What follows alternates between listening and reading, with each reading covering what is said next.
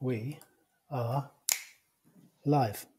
And it is a Thursday morning, glorious outside. Not a bad way to start the day.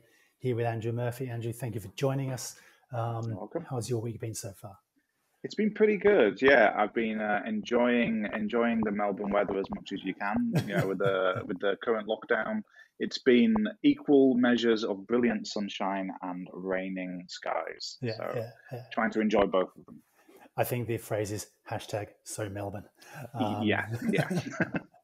um, for for those heathens who are watching or listening or even reading, who who don't know you, do you want to do a really quick thirty second intro?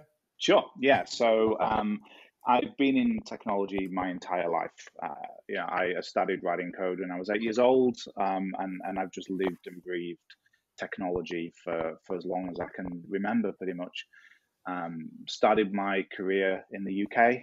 Uh, eventually found my way to Australia about five years ago. But pretty much throughout my entire career, I've lived at the intersection between software and soft skills.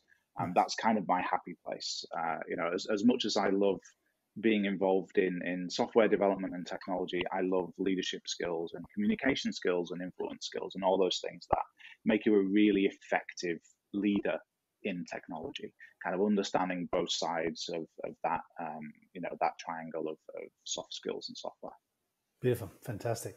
Um, and so we're obviously still in lockdown 365, uh, you know, mm. day three, 3000, whatever it is. Yeah. Um, and, you know, COVID sort of introduced these whole bunch of new challenges for all of us. Um, but one thing that's you know, not discussed that often is people like yourself, leaders moving into into leadership roles, inheriting teams, which is tough enough to do, yeah. regardless, even when you're all back in the office, but brings a whole set of new challenges when you're when working remotely, and that's kind of the stuff that we're going to unpack in in, the, in this discussion. So I'm expecting some absolute gold plated nuggets of uh, of advice and and tips for people um, who probably find themselves in, in this position. So in, in in your view, then, what what what do you think are these sort of these real challenges of, of leading remotely? I mean, it's it's it's all the challenges that exist in person plus a whole heap more. So you know what what whatever the challenges are with onboarding yourself onto a new job as a leader or not a leader, plus the challenges of onboarding yourself as a leader, plus the challenges of being remote, all together in a big mismatch. It's it's yeah. it's honestly can be um, quite overwhelming if if you don't sit down and build strategies to tackle all of these things. You know, I mm. since we started lockdown, um, I uh, I've actually onboarded myself into into two jobs. Um, I had a six month contract um, that I onboarded myself into, and then um, my my current employment that I joined 12 months ago. Um, and it, it, can be a big challenge if you don't put focus in the right areas. Um, you know, there's if you think about when you're physically in an office, you just bump into people all the time. You know, we've had this experience of starting a new job throughout our entire careers, and you just see people around the office, and you you you bump into people going for coffees and you know standing around the kitchen, and and that kind of stuff just doesn't happen. Mm. It can be so easy for you to just be this text on Slack as hmm. opposed to a human being. Mm. Um, and a lot of these strategies and these these challenges we're going to talk about are all aimed at kind of turning you from those words in Slack to a fully rounded human being. Mm. And the same for the people you're working with. You know, you want them to be fully rounded human beings to you. Yeah. And that's that's all these things are, are, are focused on pretty much. Yeah, and and in in this world we're in at the moment, where there seems to be, you know, what one side of a of, of, a debate, if you want to call it that, who who are all about you know we should be able to work remotely and work wherever we want to work, and I and I totally understand that. But I think what we're seeing now after getting on for two years of, of lockdown is the other side of the debate saying we're craving human contact, mm. we're craving human interaction. Yeah. The, the the thrill of working from home, you know, after the first few months has well and truly worn off. I want to see yeah. people. I want I want to see my friends again. Um, I'm, I'm a bona fide introvert. you know, like I, if on the introvert scale, if you slid the scale all the way to one side, that's me. Yeah. And I'm craving human connection. Yeah, yeah, yeah.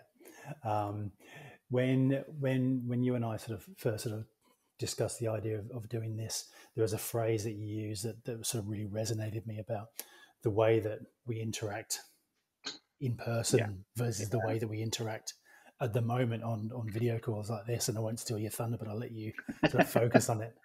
Yeah, it was something that I, I started observing. Um, so yeah, I, I mentioned that I um, I onboarded myself onto a six month uh, contracts job, and things didn't go as well as I was expecting. Um, and so I was kind of interrogating what happened and, and, and, why things weren't as, as positive as, as, as I was expecting. Because, you know, this world of remote work was new to me as well. And one of the things I realized was we're losing what used to be called the water cooler moments, you know, those, those things which are, you're you're stood around just talking about things but hmm. like it's not just water cooler moments it's not just going to get coffee it's things like meetings are scheduled now and everybody turns up. Uh, well, we're in Australia. We're, we're, in Australia, so everybody turns up at two or three minutes past. Um, but you know, everybody turns up pre- pretty much on the, on the moment. Yeah. And then when the meeting ends, because you've got another meeting straight afterwards, everybody just closes their Zoom or their meets. And, and you lose these things at the beginning and ends of meetings that you used to have, where people used to have chats and discussions, and you know, how's your dog doing? How are your how's your family doing? And and these things are, what I've started calling non-transactional conversations hmm. to contrast them with what we seem to be doing now in the world of work, which is having these very transactional conversations. You know, when you when you speak to somebody, it's because you want something, because you want to get something from hmm. them, because you want to tell them something or or give them something. And and it's a very transactional way of communicating because we've lost these these moments of non non transactionality mm. um, and, and part of what we need to do in the world of remote work is is to bring those non-transactional conversations back because yeah. they're incredibly important. Mm. And they're the you know they're they're the very human moments, aren't they? Yeah. They're the moments where you're you, know, you go out for a, for lunch as a team on a Friday, where you, you you go to the nearest coffee shop and you know, someone someone gets a donut and someone gets a pan au chocolat, and then you have the debate on the way back about which is best, where you get the yeah. best pan au chocolates from. Um, I have a figure built by Pain chocolate um, but but these are the very human moments that mm. that create connection within teams and that trust. make and trust that make the the transactional conversations you have in work they make them so much easier exactly. because you've built this trust. Exactly. Um, and they're really hard things to replicate when you're remote. And I really feel yeah. for people who've onboarded into into a new team. You know, maybe in the last six months, haven't even met any of their new team members yet. Definitely hashtag might not even do this year the way yeah going.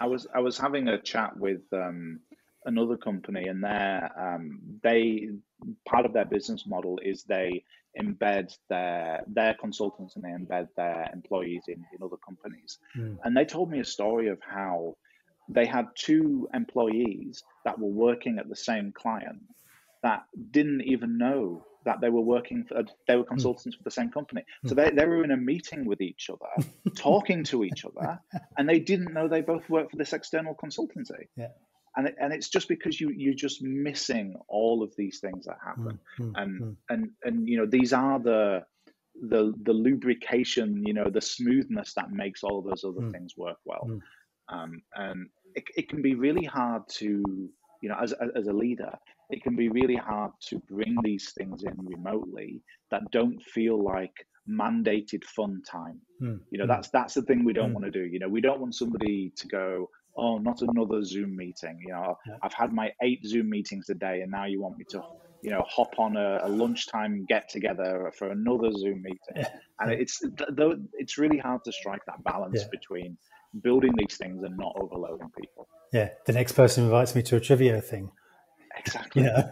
exactly. Watch, my, watch out for your Slack. Yeah, I, I, I, totally get it. And and there's this thing that you know we've we in some cases we've sort of transitioned from working from home to living at work, and and yeah. that's a I mean that's a almost a separate thing to to to tackle there from you know productivity, mental health, and all those sorts of things. Um, but but it's still this. You know, how do you how do you rehumanize as much as possible the work experience yeah. for people? And so I'm sure you've got a couple of uh, of ideas. Yeah, it's it's, it's interesting because this is a topic I talked a lot about um, in the early pandemic. Was this difference between working from home and living at work? Because there's actually a huge amount of differences between those two. Mm. Um, and one really important thing is we lose what, what I call transitional activities. Um, so, you know, if you think in, in the before times, um, you know, we used to commute to work and, and that was this really great transitional activity that got us out of home life and into work brain and got us out of work brain and into home life. But, you know, literally my bedroom is four meters in that direction. Mm. You know, that's not a, it's not a compelling commute. It's not something which, you know, makes me, it gives me the time to switch my brain around and, mm. and to go from home mode to work mode. So, mm. you know, the, one thing we're definitely missing is these um, transitional moments. And, and one thing I used to advise people to do early in the pandemic is just to walk around the block before they start work. Mm. And, and as soon as, you know, so get up, have your coffee, have your breakfast, leave, walk around the block, come back in and go to the work desk. Mm. And, and that, that transitional moment of going, okay, I'm in work mode now. Mm. And at the end of the day, doing the opposite, leaving, mm. walking around the block, coming back in, never going back to hmm. your work desk hmm. again, and just building these these stages of this. I'm now at work. I'm now at home, even yeah. though you're you're physically coexistent in the same place. I think is incredibly important. Yeah, that, that's a great idea. Um, do you have to go the reverse journey on the way home? Yeah, definitely. yeah, yeah, and and walk backwards if you can. You know. with a newspaper. Um, brilliant, brilliant. That's actually that, that's a great idea. Um, and, and, you're right; it's that separation. Uh, I remember yeah. one of my very early early jobs in, in Australia. Um, I lived literally about two minutes from the office mm-hmm. before I was in recruitment, and uh, because I lived closely, if something happened, you know, someone would just phone me and say, "Hey, can you go to the office and just do do this yeah, thing?" And they'd find that like, ten o'clock at night, I'm, I was a young, I was a new kid. I was like, Jesus, every other night I'm having to go and do something. So there's this sort of that that peril, isn't there? So mm. yeah, nice. So getting up, you know, having those transitional moments, you know, getting into into work mode, maybe go out, get your coffee yeah. from your favorite coffee shop, walk, walk back, have you have your work coffee at your desk, then you're ready yeah. to go. Um, yeah. In terms of you know the interactions with with your teams, what what what, you, what sort of things are you seeing there that you you can get some of those non-transactional sort of moments back. Yeah, so you know it's kind of playing into the um, you know we, we kind of jokingly said it earlier you know the the australian start to a meeting is two or three minutes past like you know kind of doubling down on that and, and accepting the inevitability of that you know I, I don't plan any meeting to start exactly when i send the invite to. I plan for it to start five minutes afterwards because yeah. you know people are going to run late. People are, are, in another meeting that's running late. People it takes a while for them to get their webcam sorted, mm. and so I definitely, you know, every meeting I plan to start at, at, five minutes past, and I try to finish it five minutes before the end mm. of when I actually mm. schedule it in, just to build in some of these non-transactional conversations. Um, another thing that that I try and do is video for a lot of people, especially people like me who are introverts, uh, it, it, it, feels a lot more mentally taxing.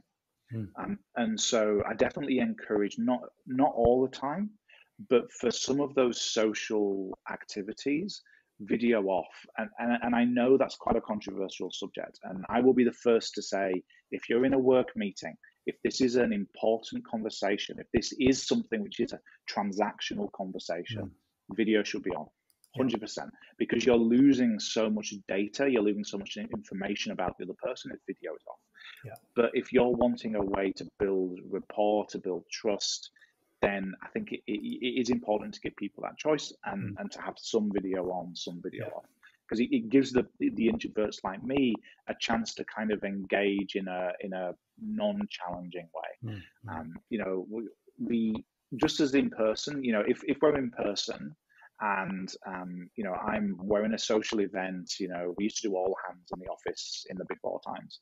Um, and, you know, we used to, we used to have people who would just walk away and go and sit at their desk for a little bit and, and, you know, decompress and, you know, have the social energy kind of built back up because, mm. you know, for them being in a group of people is challenging it's really hard to do that remotely because your face is on the screen. Mm-hmm. Um, and so giving people that option to, to kind of virtually step out from being fully engaged, I think is important for, yeah. for work social activities. Yeah, yeah. I, I, I, think that's a great idea, and I also think there's this there's this thing of you know when we're when we're in person. I think we're generally a bit more accepting of, you know, oh, Dave's got to run to the bathroom before we yeah, can have exactly. this break. So someone's got to do that. And, oh, Jim's just picked up a call from, you know, someone important, like a customer. He'll be here in two minutes. But when yeah. we're on video and we're all clock watching, yeah. you know, it's easy to, to get a little bit, oh, come on, come on, Dave, for God's sake, you know. So exactly. I think it's just all of us perhaps just being a bit kinder to each other to a certain degree and just, Definitely.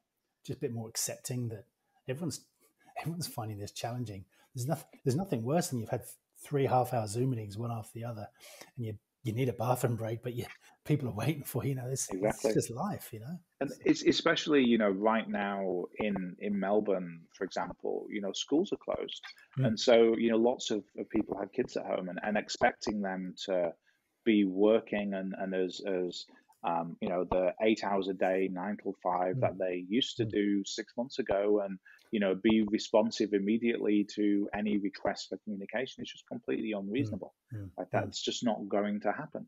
Yeah. Um, and so, you know, we need to be a lot more accommodating of that as well. Yeah. And, and I think, you know, going back the other way, the, the commitments we make to, to customers or, or, or up the mm. chain to, to directors around, you know, estimates for building things. Yeah. Just factor all these things in. Well, well, we had, um, we had a really interesting conversation internally where I work now, where, um, you know one of one of our delivery leads on a project was was kind of worried that th- th- this is when the lockdown, the latest lockdown, um, had just happened. And, and, yeah, lockdown thirty five. Yeah, um, and and he was uh, and he was trying to work out how he could say to his team that they've got to work more hours to deliver the same amount of work for the deadline the client had asked for. And we just said, no just speak to the client you know just say to the client like we're, we're in lockdown you know the, the, the half of our team have their kids at home yeah. there is no way we can output the same amount of work in the same amount of time mm. any client that is worth working with is going to understand that yeah. and so your first step has to be say let the client know that this is hmm. what is going on. Let the client know that we're investigating ways of, of dealing with this, and we're trying to find ways to to make sure that you know the the impact is as is as small as possible. But there is going to be an impact. There is absolutely no way there cannot be one. Yeah. Um, and and and you know most clients are completely understanding of that. Mm-hmm. I, I, think anyone at the moment who who has clients, external clients, I'm talking about, probably recognizes that in a normal world, clients almost expect you as a consulting business to they expect more from you than they perhaps do with their own employees. Mm. So then expecting more on, on top of that, despite yeah, pandemic. Yeah. These are really, I, I, joke about it because I'm recapping conversations I've had recently. but, but, but as leaders, we've got to be able to manage those expectations, yes. Have these human yeah. conversations. And I think when you frame things the right way, people get it. Like most people get it, um, and are pretty generally pretty accommodating it's communication skills. Mm. You know, I, a big a big drum that I bang consistently, uh, you know, in in leadership is fifty percent of leadership is communication. Mm. Just learning and understanding how to express what you want to express mm. in a compelling way, in an understandable way, in an efficient and, and, and effective way is just it, it is the thing that makes you a better leader. Yeah. Um, and and you know whether that's a, a, team lead, a project lead, a discipline lead, mm. a you know a CEO or, or whatever it is, you know, it's, it's, it's communication is just incredibly important. Yeah. And and and you know, I mean, we you know we interview umpteen people here per day per week, and you know for for leadership roles, you know the things that people say, but often the things they don't say. Uh, yeah. Uh, are those little cues that they give us on on how mm-hmm. they think about this this challenge of of, leadership. Um, so, coming back to sort of sort of rewinding slightly, um, you're a leader who's moving into into a new remote role. You're going to be inheriting a, a new team remotely. Um, if you were going to give someone sort of three things to think about, I don't know why we always ask for three. It seems the thing. If you were going to give someone sort of three things to consider and start planning mm. and thinking about before they move into that new role, what would they be? Sure. So first thing, um, you know, one of the first things they teach you in leadership school, you know, leadership 101 is having one-to-ones. and they teach you about the value of, of what I call one-dimensional one-to-ones. Mm. So this is, you know, the, the person you report into and your direct reports. Yeah. Like one-dimensional, up and down. And and I agree, like that's baseline. That's something that you just have to do. If that isn't being checked off, then you know you just need to do it.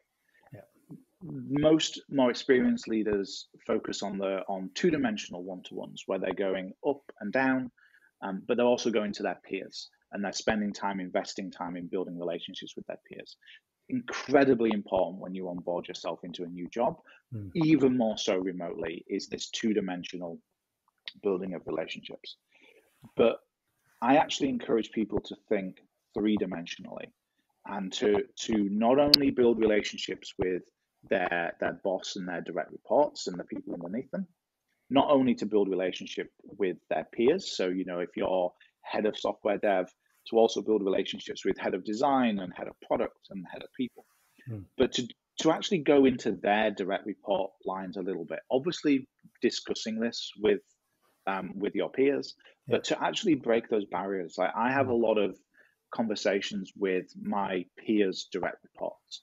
Um, what the um, the chapter lead for the for product strategy and I have a fortnightly one hour session where we just talk about product strategy and product design and you know the the interface between that and software dev. And even though this this person is you know not even in my reporting line in my hmm. reporting vertical, not even in my horizontal, you know they're they're they're distinctly separate. By doing that, I'm building trust with that person Yeah. and I'm and I'm letting that person understand that I'm not somebody that's going to pure, purely push the agenda of engineering in my company. You know, I'm not somebody that is only advocating for just engineering excellence above everything else. You know, I care about product. I care about product strategy. I care about enough to invest an hour of my time once a fortnight with the person who is heading up this this drive at, at, the company I work for. And so you know that three-dimensional one-to-one is how you can can build trust in a strategic way because Yeah. that's what a lot of this comes down to especially when you're a new leader joining a team especially when you're doing it remotely building trust is the thing you should be focused on building trust with your boss building trust with your team and your peers with the rest of the organization as well don't forget that Brilliant. um, and you know on on the so that's that's number one on the vein of building trust another thing is to make sure that you build trust with your direct reports you know what what what i worked really really hard on in, in my current job is i wanted I I knew coming in within the first couple of weeks i knew coming in that i needed to restructure i knew that i needed to um, change reporting lines. I knew that I needed to move some people out of leadership that were currently in leadership, and, and I had to make big, big changes. But if I'd have come in and done that on week three, I wouldn't have built up the trust with the team Hmm. for them to to believe that the reasons I was doing this was in their best interests. Yeah.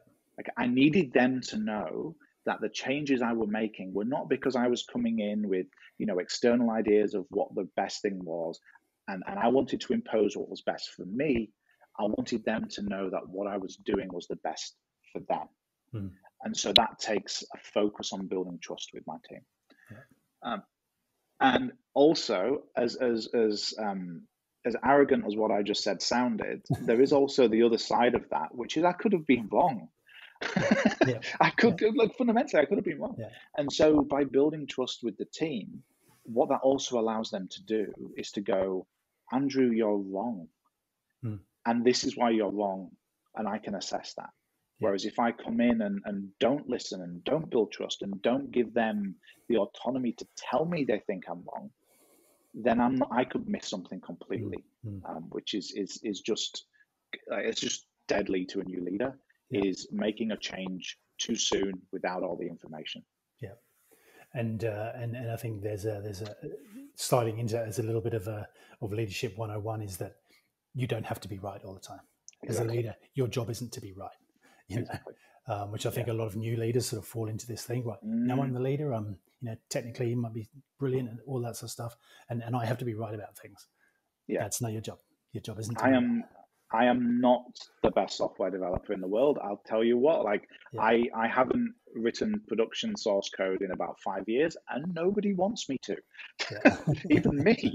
Like you do not want me writing production source code. Yeah. But you know, there's there's there's no way, you know, like in, in my current place, I head up the um, the front end team, the back end team, the mobile team, the video games team, the AI and ML team, um, and and there is no way that I can be the expert in all of those things. No. One person can be an expert in all of those things, and so I, I don't try. Like what I focus on is I focus on having strong leaders in those disciplines that I can trust. Yeah. Um, and that's that's really your job, especially especially when you're you know at the executive level. Mm. Your your your main number one job is to build a team of great leaders underneath you. Yeah. Um, and and you know your job is to find and identify them internally if they exist, mm. and if they don't exist, to find and identify them externally and bring them in, yeah. and, and to to focus on doing that in a way that doesn't you know bruise anybody's egos. Yeah. Um, is is incredibly important.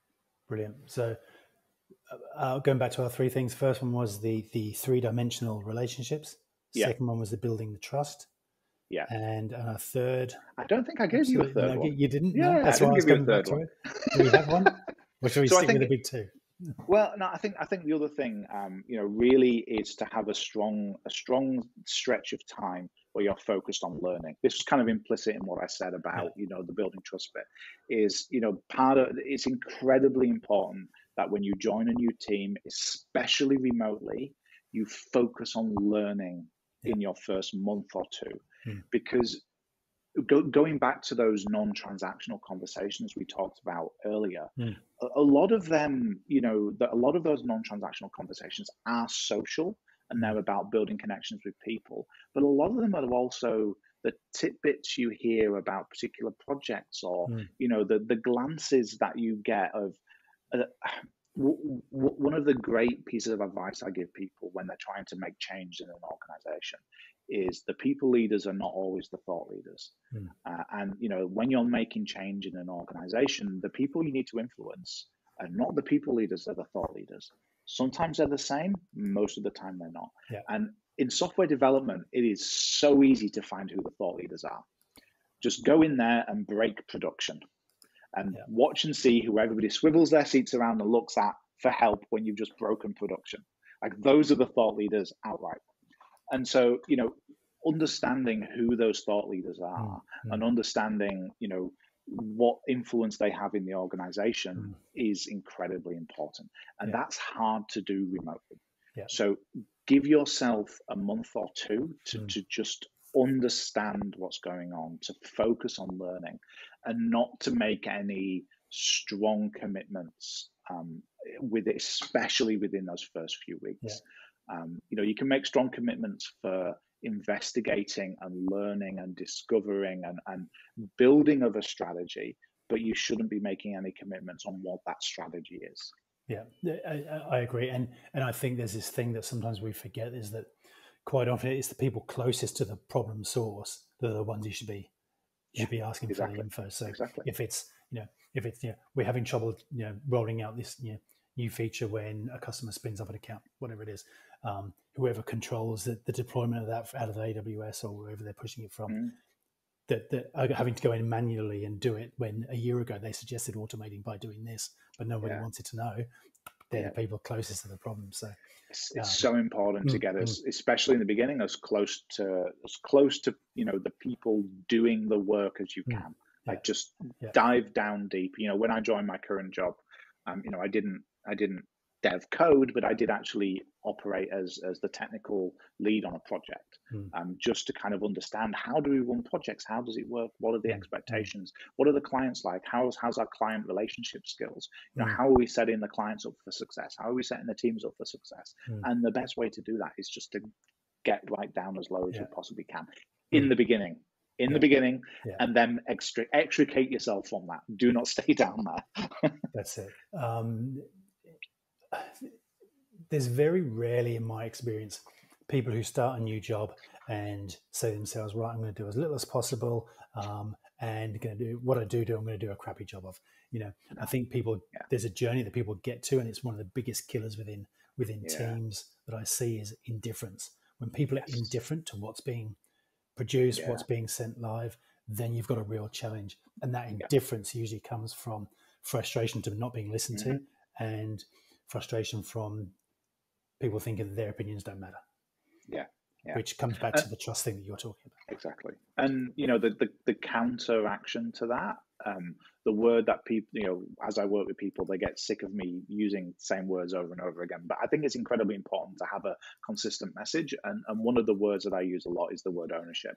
Yep. Um, you know, I, I want people to feel ownership of what they're doing, Mm, uh, mm. and and you know that that disengagement is the opposite end of the spectrum to Mm, ownership. mm.